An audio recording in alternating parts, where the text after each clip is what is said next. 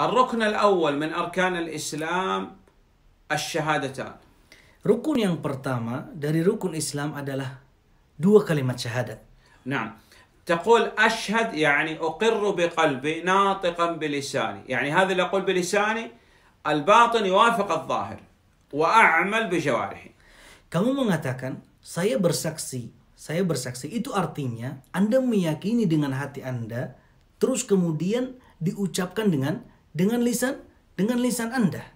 لا إله يعني لا أحد أن يستحق أن يعبد إلا الله كل ما عبد من دون الله عبادته باطلة أثبت العبادة لله وحده لا شريك له Saya bersaksi tiada Tuhan selain Allah. Artinya adalah tiada Tuhan yang berhak disembah yang hak melainkan melainkan hanya Allah Subhanahu wa taala. Jika Anda memberikan ibadah kepada selain Allah Subhanahu wa taala, maka Anda telah berbuat syirik.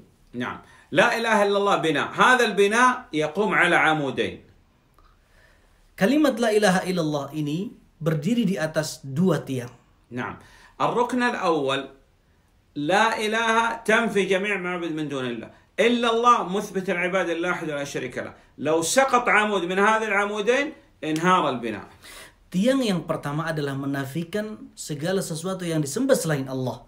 Adapun tiang yang kedua adalah menetapkan ibadah hanya untuk Allah Subhanahu wa taala semata. Jika salah satu di antara kedua tiang tersebut jatuh, maka kalimat syahadat itu pun akan runtuh. Nah, wa nashhad anna Muhammad alaihi salatu wassalam abdul la yu'bad wa rasul la yukadzdzab alaihi salatu wassalam. Kemudian kita juga bersaksi bahwa Muhammad Nabi Muhammad sallallahu alaihi wasallam adalah seorang hamba yang tidak patut untuk disembah dan juga seorang rasul yang patut untuk diikuti. الذي يعبد النبي صلى الله عليه وسلم هذا لم يشهد أنه عبد عليه الصلاة والسلام Yang menyembah Nabi Shallallahu Alaihi Wasallam berarti dia belum bersaksi dengan kalimat syahadat Muhammad Shallallahu Alaihi Wasallam dengan benar.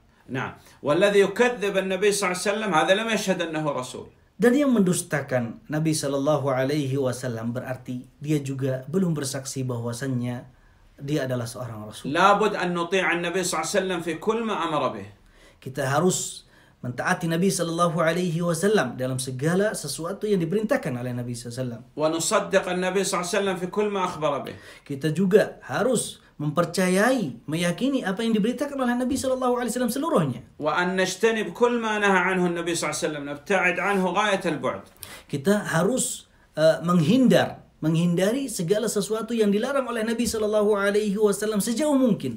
وأن لا يعبد الله إلا بما شرع أي لا ن- نبتدع في دين الله بل نتبع والله أعلم Kemudian kita juga tidak uh, beri- kita juga dalam beribadah kepada Allah Subhanahu wa taala tidak merenovasi sendiri akan tetapi kita mengikuti Nabi Shallallahu alaihi wasallam dan tidak membuat-buat ibadah itu sendiri.